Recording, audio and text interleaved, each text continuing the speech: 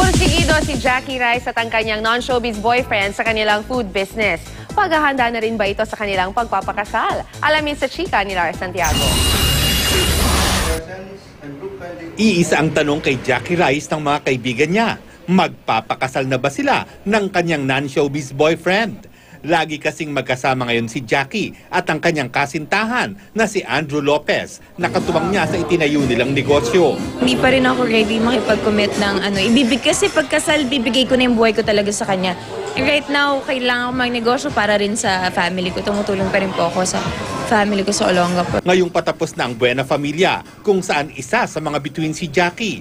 Plano niyang tutukan ang pagkapatakbo ng itinayo nila ng kanyang nobyo na paresan sa Quezon City. Pareho raw silang nag-aral ng culinary arts.